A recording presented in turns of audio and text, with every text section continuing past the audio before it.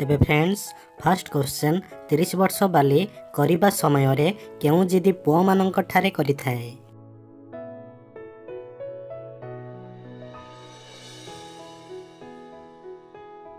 ଏହାର ଆନ୍ସର୍ ହେଉଛି ପୁରା ଟାଇଟ୍ ପୁରାଇବା ପାଇଁ ଜିଦି କରିଥାଏ।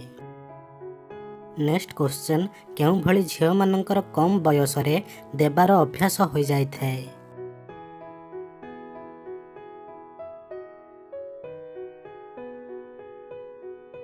ଏହାର ଆନ୍ସର୍ ହେଉଛି ଫୋନ୍ ଚଲାଉଥିବା ଝିଅମାନଙ୍କର।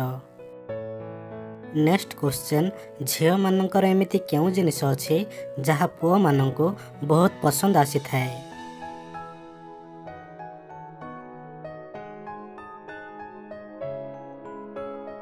ଏହାର ଆନ୍ସର୍ ହେଉଛି ଝିଅମାନଙ୍କର ଭଏସ୍ ନେକ୍ସଟ କ୍ୱେଶ୍ଚନ୍ ଷୋହଳ ବର୍ଷ ବାଲିଠାରୁ କେତେବେଳେ ମଜା ନେବା ସୁରକ୍ଷିତ ବୋଲି କୁହାଯାଏ?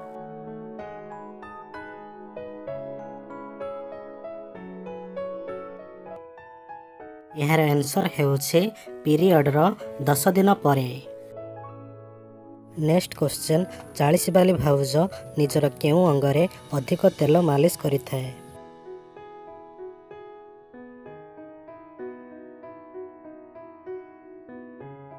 ଏହାର ଆନ୍ସର୍ ହେଉଛି ନିଜର ମୋଟା ଜଙ୍ଘରେ ତେଲ ମାଲିସ କରିଥାଏ।